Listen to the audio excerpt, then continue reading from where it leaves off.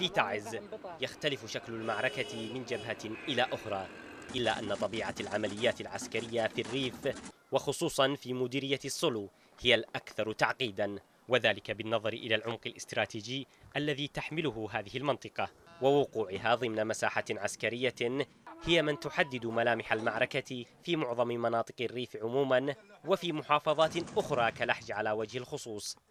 المعارك العنيفة التي تتجدد بين الحين والآخر في هذه المنطقة. خلفت العديد من القتلى والجرحى.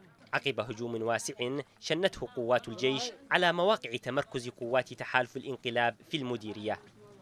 فعلى الرغم من الهدوء الحذر الذي شهدته جبهة الصلو خلال الفترة السابقة إلا أنه وبعد معارك الأيام القليلة الماضية تغير الواقع الميداني بعد إعلان قوات الجيش السيطرة على منطقة الصيار بداية من فجر يومنا هذا تم دحر العدو المتمركز في منطقة السيار.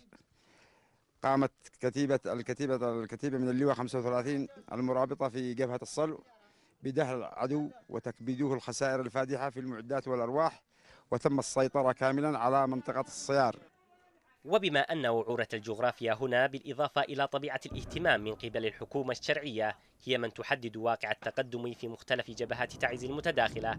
فقد كان لهذه الجبهة أن تعيش واقع كر وفر مستمر وذلك بالنظر إلى مستوى الدعم اللوجستي والعسكري المتواضع المقدم لها كما يقول عسكريون. تتحدد الغاية الاستراتيجية من هذه العمليات العسكرية في كونها تسعى إلى الضغط على جبهة كرش في لحج وفرض حصار عسكري على منتصف نقيل الصلو المطل على مشارف مديرية دمنة خدير التي تعد مركز العمليات العسكرية التي تتدفق منها إمدادات الحوثيين لجبهة حيفان والأقروض وغيرها من مناطق تعز.